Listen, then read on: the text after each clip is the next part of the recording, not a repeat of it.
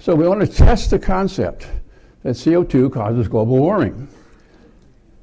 What we know is that CO2 emissions soared after 1945, post World War II, at a, a very sharply increased rate.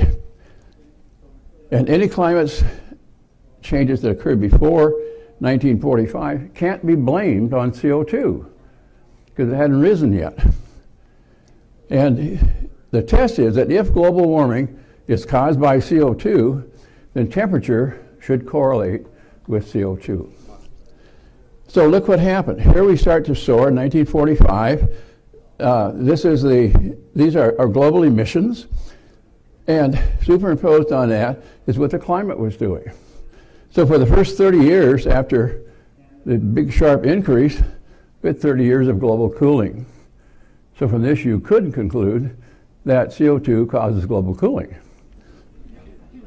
And then there has been some warming since then. So climate change is real. Nobody denies that. And let's look then at what CO2 has in, in common um, with temperature. Here's where, this is about 1945. This is where the emissions began to rise sharply. And we have 30 years of global cooling. And before that, from 1915 to 1945, we had global warming without any increase in CO2. So who needs CO2? And it gets even, even um, more than that. In this graph, I plotted temperatures from uh, isotopic evidence in ice cores. The red peaks are periods of global warming. And there are 20 on this graph dating back to about 1500. If you go back even farther, if you go back 10,000 years, this is 10,000 years ago, this is the present, temperatures are about two and a half to five degrees warmer than present in Greenland. No CO2. And then about 1,500 years ago, we dropped into uh, what has become uh, the Little Ice Age. Going back even farther, 25, 30 years, 1,000 years, we have the last ice age with huge warming of 20 degrees in less than a century and dropping of temperature of 20 degrees in uh, perhaps around a century and rising of temperature about 20 degrees in a century, all without the benefit of CO2. Second line of evidence is that CO2 cannot cause significant global warming by itself simply because the amount of CO2 in the atmosphere is minuscule. The atmosphere now consists of about 41 thousandths of 1% of CO2. So if you take 100 molecules of air out of this room, you'll have only four molecules of carbon. It's about as close to nothing as you can get. If you double nothing, you've still got nothing. Not only that, but CO2 is a greenhouse gas, but it accounts to only about 3.6% of the greenhouse effect. 95% uh, is water vapor.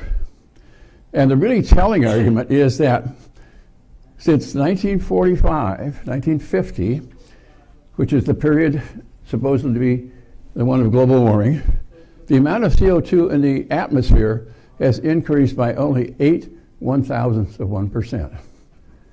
If you take the level in 1950 and the le absolute level, the amount of CO2 in the atmosphere, now it's increased by 8 one thousandths of 1%. And that isn't going to do very much.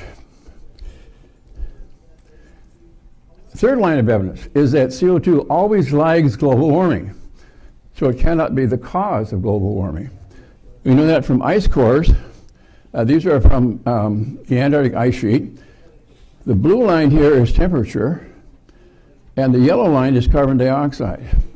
And notice that carbon dioxide always follows the rise in temperature. It always lags temperature. So CO2 cannot be causing the warming.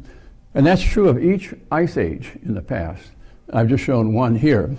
It's even true on a shorter term. Uh, here is temperature, the blue curve, and the green is carbon dioxide. So if you take the peak of temperature and the peak of carbon dioxide, carbon dioxide, even in the short term, always lags temperature.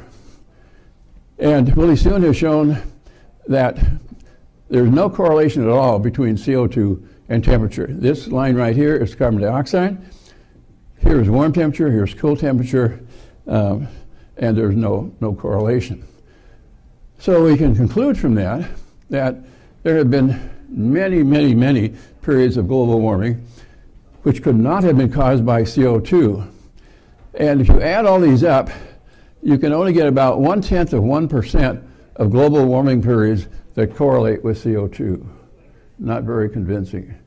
99.9% of geologic warming in the past uh, has been, uh, cannot have been caused by CO2.